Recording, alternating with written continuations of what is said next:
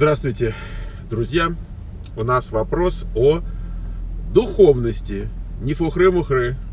Вот, поговорим за духовность. Значит, говорят, что где-то там опрос прошел, и вот э, по результатам опроса, значит, жители Российской Федерации пришли сказать, к такому заключению, что при СССР духовности было больше. Но даже сейчас, э, по сравнению с Западом, в Российской Федерации духовности больше. И вот, значит, как это вообще спрашивают, что за духовность такая? Э, и как у нас тут на Западе вообще с духовностью? И вообще вот, вот ну, имеется в виду, чтобы я там как-то поделился своими соображениями. Значит, э, я, я бы вот что сказал, в первую очередь. Все-таки э, духовность так уж сложилась, что духовность это такой идеологический продукт, продукт одно, одно из орудий там, холодной войны, одна из э, пропагандистских мулек, использовавшихся советской пропагандой. Э, единственное, что я вот только, может быть, уточню, что если в целом духовность это как бы такое религиозное понятие, то коммунисты духовность э, немножко пересобачили на такой нерелигиозный манер. И вот духовность, нравственность, да, вот что, что нравственно? Вот нам, нас так учили. Нам говорили, что нравственно то, что э, в интересах пролетариата. Понимаешь как? Вот, говорит, там, говорит, нехорошо вроде бы убивать там э, людей за то, что они с тобой, э, скажем, не, не одной точки зрения придерживаются, а вот разных. Как бы нехорошо за это убивать. Но в интересах классовой борьбы, да, это же все классовая борьба. В интересах пролетариата, это же классы, да, вот есть класс пролетариев, есть класс там Э, буржуазии. Вот в классовой борьбе нравственно то, что в интересах класса пролетарского. А, а кто решает, что в интересах пролетарского класса? А там есть пацаны. Вот пацаны это втюхивают. И пацаны определяют, а они типа имеют научное знание. И вот это, как же Маркс же, вот э, это все научно, это же не просто так, вот от балды. Вот у них Маркс, у них там Энгельс, у них там Адам Смит, там еще всякие люди. И вот они точно знают, что э, значит, э, будущее за пролетариатом. Поэтому все, что это будущее приближает, в частности, физическое истребление представителей других классов, значит, особенно враждебных. Ну, они решили, что враждебные, они им мешают. Значит, вот они враждебные. Вот это, собственно, мы имеем в чистом виде вопросы духовности и нравственности, вот то, как, как они эм, реально э, применялись на памяти, вот на моей, например. А, я уж не говорю там про родителей наших, вот ваших там дедушек, бабушек, да, когда с лагерями, с посадками, там 10 лет без права переписки, когда миллионы людей отправились на тот свет, потому что были не того классового, там, не, неправильного класса. Я считаю, что апогей этого был а, в Камбодже, когда, я боюсь цифрами там что-нибудь напутать, но грубо так, да вот, скажем, из 5 миллионов населения, там два э, мотыгами э, забили до смерти, что пуль не было расстрелять. Так они мотыгами, сельхозорудием, они их убивали, потому что нету места в светлом будущем вот этим вот бездуховным, э, хуже, чем бездуховным, они неправильной духовностью, понимаете, у них еще какая-то совсем нехорошая буржуазная, вот, учитель, Учитель это же плохо, он же образованный, священник, не дай бог, это вообще смертельное дело. Вот это духовность. Значит, э, э, духовность всегда скармливалась, э, ну, как сказать, ну, с точки зрения вот тех, э, кто кормит, да, значит, смотрящих, кормящих, скармливалась быдлу, потому что быдло на духовность хорошо идет.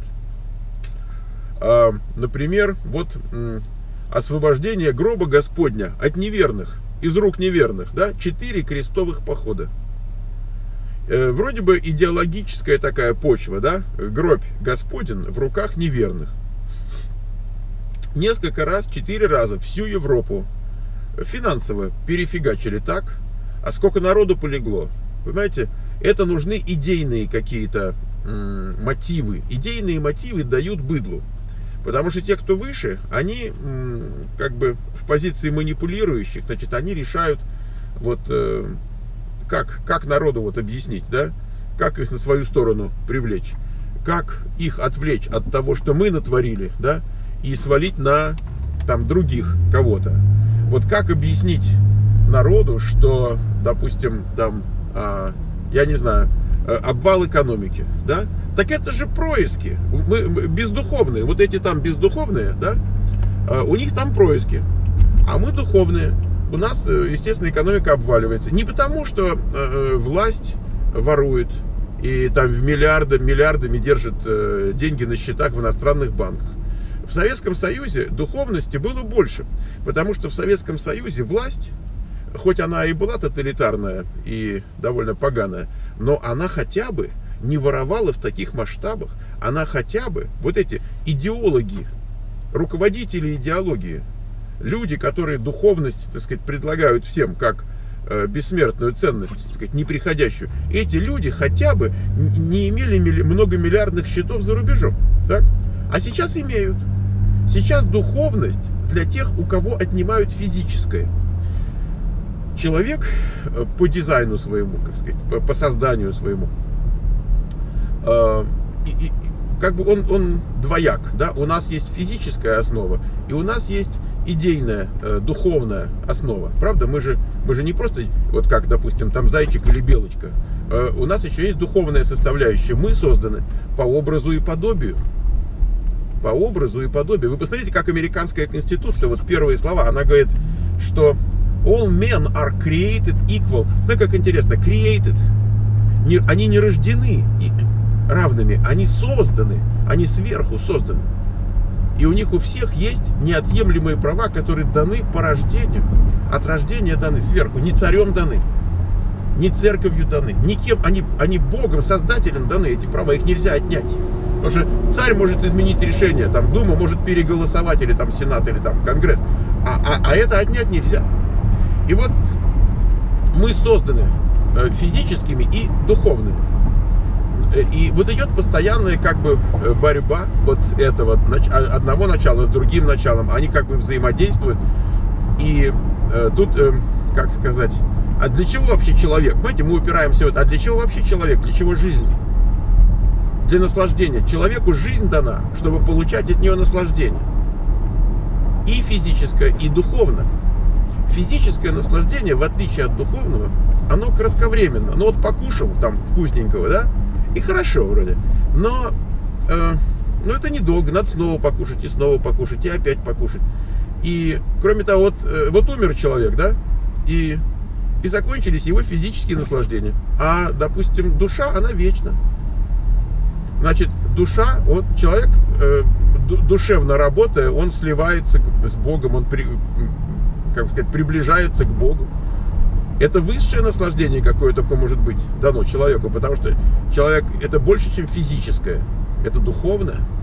И вот фактически духовность, как бы в религиозном смысле, это то, насколько человек э, э близок к Богу, насколько он э, проживает свою жизнь как бы в богоугодном таком ключе. Но дальше что получается? Есть вера, есть Бог, есть вера в Бога, а дальше есть учреждение, называется церковь. Опа-на! И сразу мы появляем, появляются люди, да, да, которые говорят, значит так, Бог хотел вот этого, этого, этого. Это не богоугодно, значит там каких-то Евангелий пачка. Значит так, эти уничтожить, эти четыре оставляем, те уничтожаем. Так, это что там, э, э, гроб не в тех руках. Значит так, война, это чего? Это, это царь. Ну, царь это царь. Царь это наместник Божий. И дальше забыли веру, забыли то, забыли все, э, продают индульгенции, понимаешь, за бабки просто. Поэтому вот как только учреждение появилось, так и закончилась вера. Ее загнали. Загнали там, не знаю, по скитам, загнали куда угодно. Нет больше веры. Кому нужна вера? Когда есть учреждение. Кому нужна духовность? Когда есть учреждение по духовности. Понимаете? И вот э, духовность. Э, значит, э, есть какие-то ну, формальные, что ли, признаки, которые э, исторически использовались для понтов.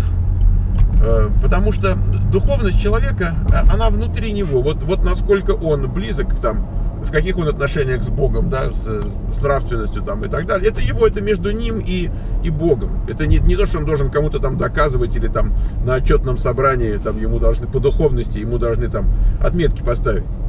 Но как только это выходит в, в общество, как только это выходит вот э, куда-то и вот начинает обсуждаться, значит, ну какие признаки духовности? Вот, да, но мы же понимаем, это же не совсем материальное, это как бы, это надматериальное. И говорит, вот он там, музыка, это духовное. Ее нельзя скушать, правильно?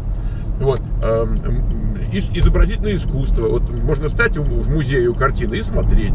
Но это когда ты сам смотришь, ты вот сам, а, а, но ты можешь обсуждать. Вот ты можешь прийти и сказать, ох, я сегодня э, смотрел там, э, не знаю, Мадонну Рафаэля, я час смотрел, боже, какой художник, а, ну я, я утрирую, я так, значит, Гротескова, но, о, это духовный человек, он, значит, там увлекается музыкой, э, там, литературой, поэзией, э, потом, вот можете Пушкиным увлекаться, это так, а если вы там, я не знаю, кем-то таким более изысканным, таким, знаете, для узкого круга, для эстетов, это вообще, это растопырился, это щеки надул и всю свою жизнь в сортир спустил.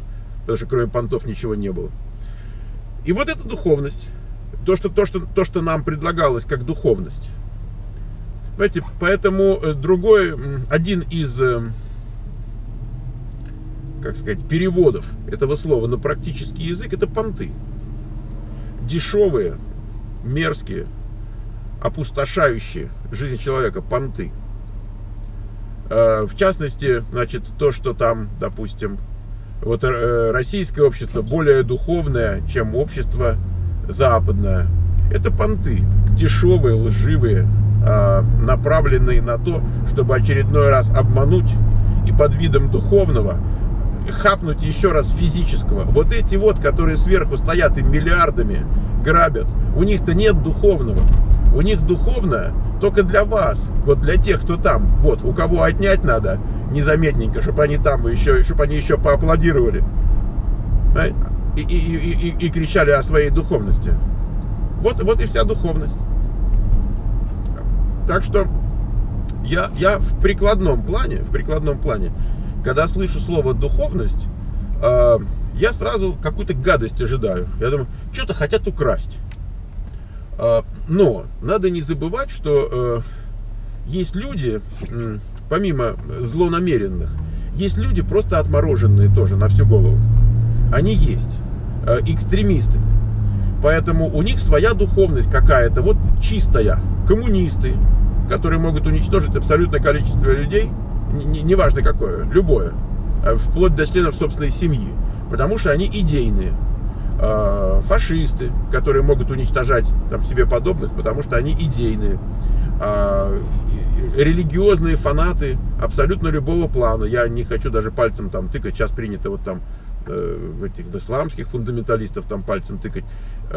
Христианские отморозки религиозные уничтожили столько людей и залили землю кровью так, что мусульманским фундаменталистам не снилось.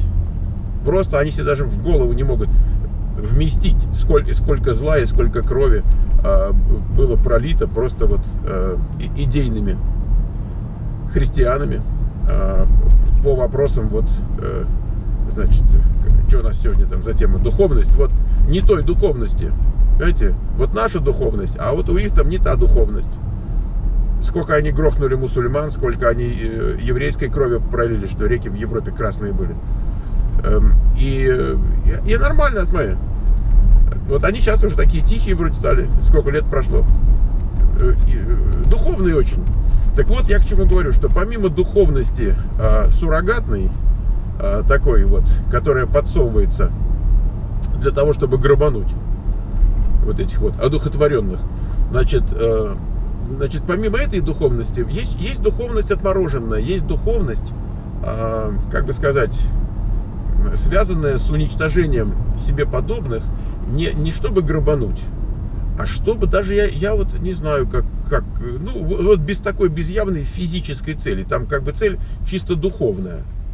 Э, я помню Мао Цзэдун, ну так, помоложе, нет, ну он уже не был молодым, конечно. Значит, Мао Цзэдун, э, он был в претензии к Советскому Союзу, что вот тот не хочет ядерную войну развязать и покончить с миром капитализма. И он говорил, что э, пусть в ядерной войне погибнет 90% населения планеты, говорил он.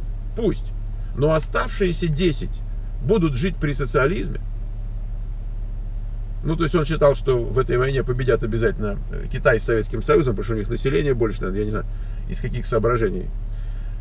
Вот, так что э, коммунисты, то есть столько, столько зла, сколько коммунисты принесли, я даже не знаю, со своей высокой одухотворенностью, не, не знаю. Я, я не хочу разбирать, э, скажем так, текущие политические э, преступления особо одухотворенных э, сегодня, кто вот так на этом рынке приторговывает. Вот. Время пройдет и как бы все на свое место встанет. Значит, я хочу сказать, что э, если слово духовность сегодня употребляется вне религиозного контекста, если это не обсуждение вот там среди верующих, а если это выносится на общественное такое, на публичное, если идет сравнение духовности, вот наше общество более духовное, то общество менее духовное.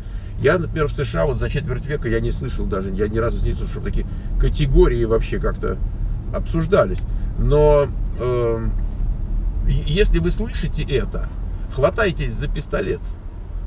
Понимаете? Ну, я утрирую, я в том, в том смысле, что понимаете, что это э, не хорошие люди это идет какой-то кидалово.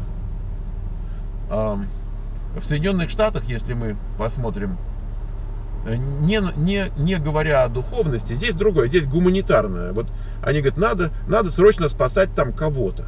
Вот тут спасать или там спасать, где-то то ли в Африке спасать, то ли там еще где-то спасать, в Ираке, там, я не знаю.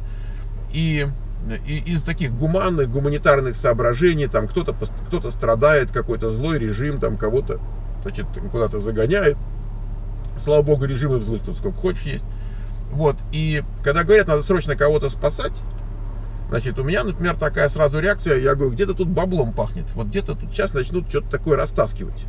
Потому что под гуманитарные цели украсть легче, чем под цели такие сугубо экономические. Да, то есть говорят, давай там вот что-нибудь, я не знаю, где-нибудь там какую-нибудь операцию проведем и э, потратим там на 10 миллиардов вооружений, а к этому тогда компании, которые производят еще на 10 миллиардов вооружений, они смогут заработать. И так никто не скажет, потому что если, если так прийти и сказать, то скажут, а эти компании, слава богу, и так неплохо зарабатывают, ну и всех нафиг. Так, так не продается. Так, так вооружение не продашь. А вот если какая-нибудь гуманитарная акция какая-нибудь, о, ты смотри, сейчас можно, значит, там э, заработать. Вот, поэтому э, с опытом, с жизненным, я не знаю, вот вырабатываются какие-то вещи, эм, когда ты начинаешь по-другому смотреть на, на, на что-то, и э, как бы, когда, может быть, скажем так, тебя легче немножко, я извиняюсь, когда тебя сложнее там э, одурачить или там э, обмануть, или, ну, как скажем, ввести в заблуждение, да, но нельзя же вот 10 там, раз подряд наступать на одни и те же грабли. Должны быть какие-то разные, может быть, грабли. Я не знаю. И вот я как бы человек постарше, как бы, вот у меня с возрастом развился некоторый такой а, цинизм в отношении вот этих всех вещей. И я, сейчас я извиняюсь, тут паркуюсь. И я к таким вопросам, как духовность, отношусь с большой настороженностью. Это либо черносотенец какой-нибудь, так, либо какие-то коррупционеры, которые наняли черносотенцев, или там Поповщину, или там кого-то вот из этих, а, для того, чтобы что-нибудь такое наворовать.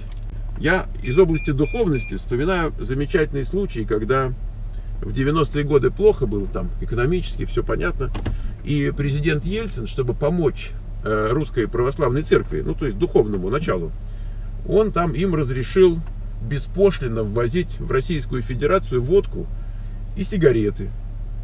Вот это, я думаю, иллюстрация духовности. И вы каждый раз, как слышите слово духовность, вот вы вспомните об этом. И тогда станет понятно, о чем речь. Счастливо!